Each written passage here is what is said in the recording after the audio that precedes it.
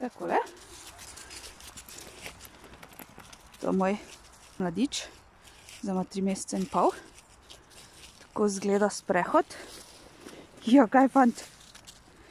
Mal prsnico, katera ne preprečuje gibanje tac. Se pravi, da ni preko lopatice nobenega eh, traku. Je od spredaj pod trebuh, da pritisk pade na mm, nagrodnico in ima slednji povodec, ves čas 5 metrski za seboj, tako da dejansko imam psa ves čas pod neko kontrolo, da lahko reagiram, če nekdo pride nasproti, da psa ne lovim, da pes ne dela napak.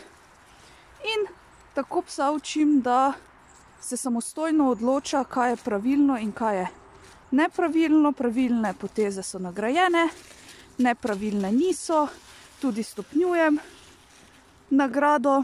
Ja, pridn fantek, pridn lula, ja, super, ja, bravo, ja, takši ti pridno lulov, ja, super. Dejansko, ko smo na sprehodom z psom, je isto, kot da bi vozili avto. Ves čas imamo celotno okolico na pregledu. Vidite, v daljavi je video človeka, to za moje pse pomeni, prihajajo priboljški in se bomo temu človeku umaknili na stran. Vidite? Ja. In bomo delali trikce. Ja. Bravo si. Ajde. Right. Super.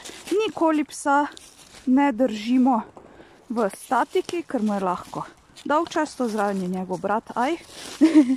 ja, super. Ja, nikoli ga ne dajemo v sedi, da bo gledal, kaj se dogaja. Ja, bravo, gremo left. Super, right.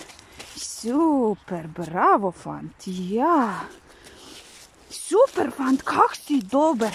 Ja, ja, super. Bravo! Tudi seveda brat mora kaj vmes dobiti, da se ne počuti ogoljufanega. Zakaj sem ekstra nagradila, še bolj dvignila glas, zaradi tega, ker je mimo ojdočo osebo, kje si oks, gremo, ja, mimo ojdočo osebo pogledal in jo je ignoriral.